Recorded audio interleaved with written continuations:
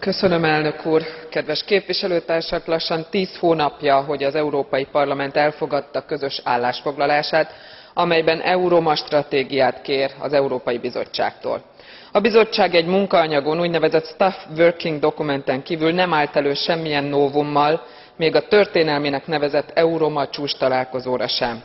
Mindezek közben Koszovóban még mindig ólomszennyezett, életveszélyes telepeken laknak a romák, mindezek közben magyarországon ezen időszak alatt kilenc településen roma családok házai ellen követtek el támadásokat molotov koktéllal vagy lőfegyverrel.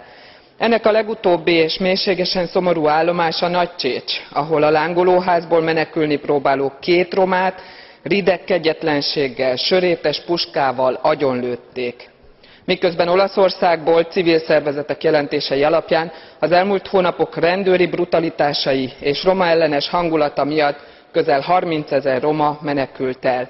ehhez párosul a jelenlegi gazdasági válság amely ne legyenek kétségeink leginkább a leszakadt mélyszegénységben élő rétegeket és a romákat fogja sújtani. emlékeztetnék minden felelős politikust hogy ezért is kell az európai romastratégiát megalkotni. köszönöm szépen!